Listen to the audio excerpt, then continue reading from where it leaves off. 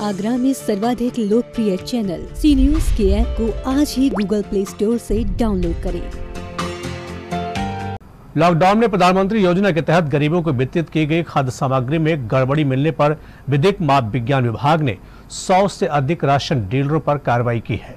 Lockdown में प्रधानमंत्री योजना के तहत गरीबों को खाद्य सामग्री वितरित की गई। इस दौरान भी राशन डीलर अपनी हरकतों से बाज नहीं आए गरीबों को मिलने वाले राशन में भी गड़बड़ी की गई। विधिक माप विज्ञान विभाग के वरिष्ठ निरीक्षक सिद्धार्थ शंकर राय का कहना है कि खाद्य सामग्री वितरण के दौरान राशन डीलरों के यहाँ गड़बड़ी मिली, जिस पर कार्रवाई की गई है माह अप्रैल एवं मई में गरीबों के लिए मुफ़्त खाद्यान्न के वितरण के साथ ही नियमित सार्वजनिक वितरण प्रणाली के तहत खाद्यान्न का वितरण किया गया।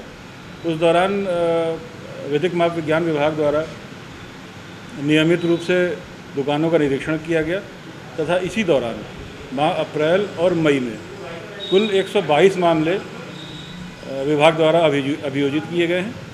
इनमें चार मामले घटतौली के हैं तथा अन्य मामले जो है वो आपके विधिक माप विज्ञान अधिनियम 2009 तथा उत्तर प्रदेश विधिक माप विज्ञान प्रवर्तन नियमावली 2011 के अन्य सुसंगत धाराओं में मामले दर्ज किए गए। विधिक माप विज्ञान विभाग के वरिष्ठ निरीक्षक सिद्धार्थ शंकर राय का कहना है कि राशन डीलर बिना सत्यापन के तोल उपकरणों का प्रयोग कर रहे थे। चेकिंग के दौरान निर्धारित मात्रा के बाट भी नहीं मिले। इस कारण घटतौली और अनियमितता मिलने पर 122 राशन के दुकानों के चालान किए गए। जैसा की मैंने आपको बताया की चार मामले घटतौली के हैं।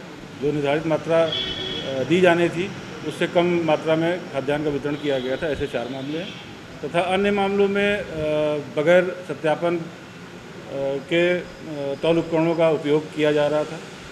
कुछ स्थानों पर इलेक्ट्रॉनिक जो तौल मशीन होती है, उसकी शुद्धता की जाँच हेतु मानक परीक्षक बाट की आवश्यकता होती है। तो वो कई स्थानों पे वो बाट नहीं पाए गए।